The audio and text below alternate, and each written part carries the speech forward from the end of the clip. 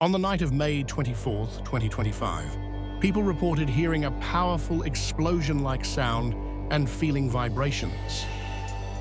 But it wasn't an earthquake, it was a sonic boom caused by SpaceX's Dragon spacecraft returning from the International Space Station.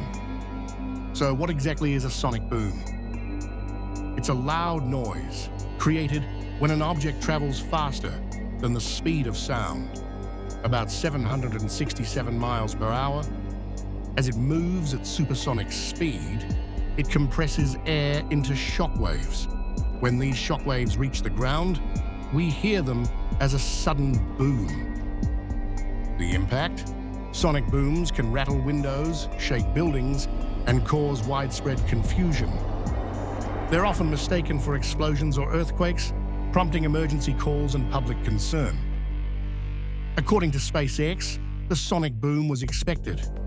They had warned that the Dragon capsule's re-entry would produce a brief but noticeable boom over parts of California before it safely splashed down in the Pacific Ocean. This event highlights the incredible power of modern space travel and reminds us that breaking the sound barrier isn't just science fiction. It's happening right above us. Don't forget to follow for more real-time science updates and space news.